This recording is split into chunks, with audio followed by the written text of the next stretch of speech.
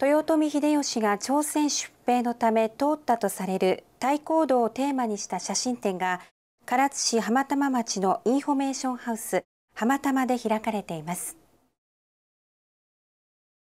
会場には太閤道にまつわる地域の風景44点すべてをモノクロ写真で展示しています。唐津市の写真家井上博之さんが開きました。この中には鎮西町にある石田三成の陣跡や脱藩者を刀で切ったという言い伝えがある首切り地蔵などがあります。井上さんは2005年春から撮影を始めました。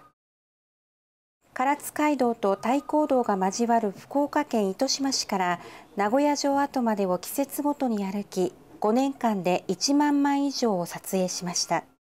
唐津に残されたあの歴史の発掘がもう一つの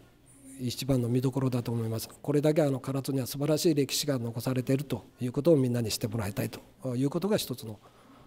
大きな目的でしております。はい、写真展は17日まで開かれます。